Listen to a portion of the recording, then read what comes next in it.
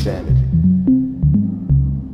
I can deal with death, but dealing with that, that paint-chipped concrete enclosure that I'm in and those stares from these prison guards that say you're gonna die or you're not worth living and the space and distance between me and my family those are the, the psychological enemies that I fight, the demons that try to invade my space that I have to deal with every day.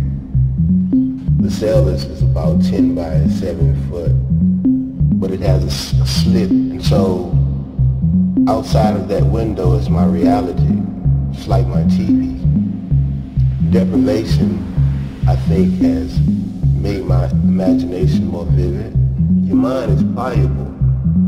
You locked up in a, a white room with a, a, light above your head and handcuffs, and you, you're being threatened. It's just a, a tactic that they use in interrogation to make you temporarily think that you're telling you, you what they're saying is true, right? And it's more support than I've ever saw. So I got a real good feeling that the documentary is going to be ended soon. Soon enough for you? Soon enough.